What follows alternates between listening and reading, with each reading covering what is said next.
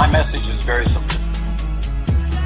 For us to be restored properly to the Lord, for us to be restored as brethren one to another, we need the same instruction. Our unity needs to be found in us all listening to the voice of God.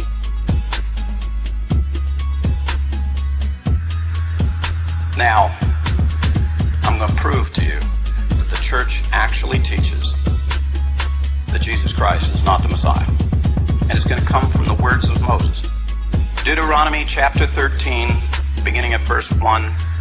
If a prophet or a dreamer of dreams arises among you and gives you a sign or a wonder, and the sign or the wonder comes true concerning which he spoke to you, saying, Let us go after other gods whom you have not known, and let us serve them.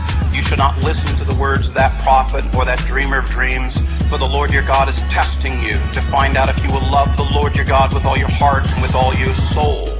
You shall follow the Lord your God and fear him, and you shall keep his commandments. Listen to his voice, serve him, and cling to him. Brethren, Yeshua was one of our countrymen. He came and he did signs and he did wonders. If he came for the purpose to change what Moses said, to give us a new God, a new way to God, if he came to do something different than what Moses said, if and as it says in verse 5, but that prophet or dreamer of dreams shall be put to death because he has counseled rebellion against the Lord your God who has brought you from the land of Egypt and redeemed you from the house of slavery to seduce you from the way in which the Lord your God commanded you to walk. If he came and he was trying to seduce us and lead us from a different way than we were commanded to walk as Moses instructed us, if he in fact came and did that, he's a false Messiah. He's a false prophet. He's a false teacher. He deserves to die of blasphemy.